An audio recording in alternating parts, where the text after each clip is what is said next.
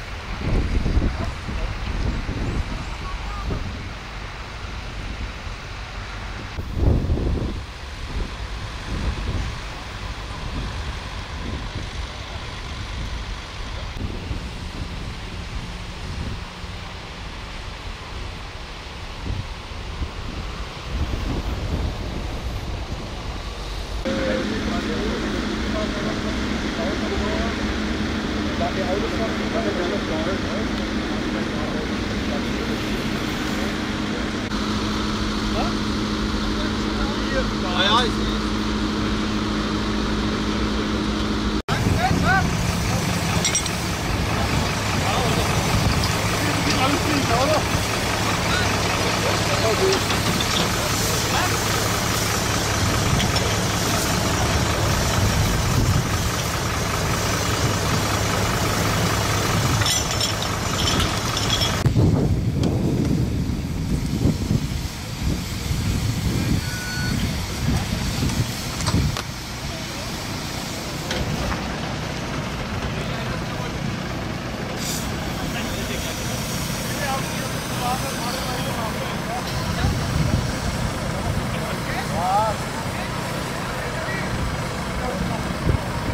Wir sind heute zum Flächebrand alarmiert worden zwischen Lomersheim und Mühlhaus am Kreisverkehr. Beim Eintreffen der ersten Kräfte hat eine Fläche von ca. 20 auf 30 Meter gebrannt, fortschreitend. Ähm, durch die aktuelle Wettersituation ist sowas natürlich recht gefährlich. Äh, das heißt, da kann man nur appellieren, es bleiben zu lassen, irgendwelche Gegenstände oder Zigarettenstummel aus dem Fenster zu schmeißen Ähm, das tut nicht gut. Das kann als ganz böse enden. Ja, wir können Gott sei Dank auf äh, leistungsfähige Fahrzeuge zurückgreifen mit dem AB Wasser. Das heißt, wir haben relativ viel Wasser, relativ schnell an der Einsatzstelle.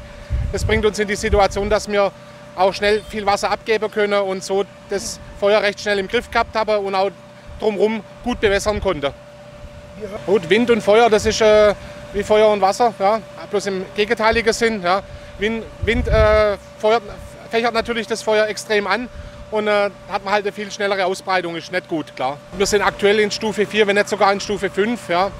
Also gerade hier ist es extrem gefährlich und reichen wenige Funke, um einen Flächenbrand zu verursachen.